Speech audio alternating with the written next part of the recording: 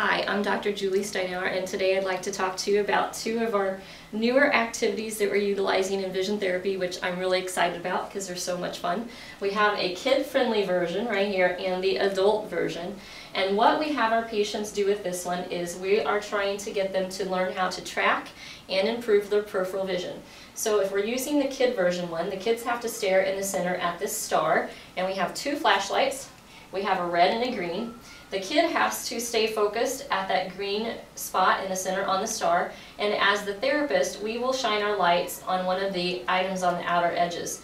Once they see that being shined on the outer edges, they have to show their flashlight on top of which one we flashed. For the adult version, they have to read across the, this print and read the letters. They also have to do this to the beat of a metronome. And they're looking for which star we shine our flashlight on so that they can flash uh, that particular star. So two things we're working on for this one. One is tracking. It's very important to improve tracking skills for someone who wants to be more efficient and accurate with reading, which will improve their ability to keep their place and improve their comprehension level. And then the second thing that we're doing is we're improving their peripheral vision. So a lot of patients, whether they be kids or adults, will have difficulty with using their peripheral vision, where they become almost tunnel visioned and they block out things surrounding them.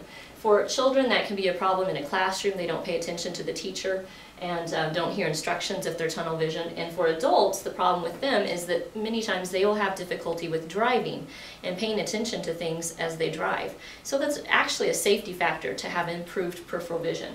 So those two things, tracking and peripheral vision, are what this activity works on. And if you have uh, any questions, feel free to contact us, but visionforlifeworks.com is our website. Visit us there, and I thank you for listening.